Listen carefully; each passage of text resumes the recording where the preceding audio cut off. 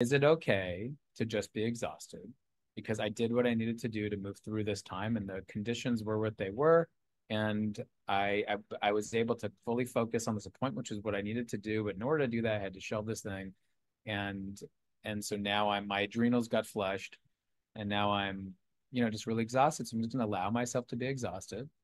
Like I'm on this call right now, but like I'm just allowing the heaviness to be there and I'm aware that's there and that's just and that's what it is. So now i'm going to kind of like be aware of that and care for myself through the day because i'm just exhausted. So there's there's the one thing. So it's like can that just be okay is the question. Can i can i just be okay with exhaustion?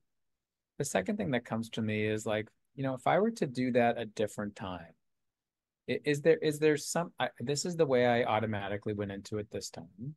And and it worked because i was able to focus but i was exhausted is there something that I might want to play with differently if that were to come up next time that would allow me to be aware of the stress that's here and kind of work with it a little bit while I'm focused with this person? Is there is there is there any wiggle room with that? That's what I'm curious about in that when I kind of volley that, that back to you.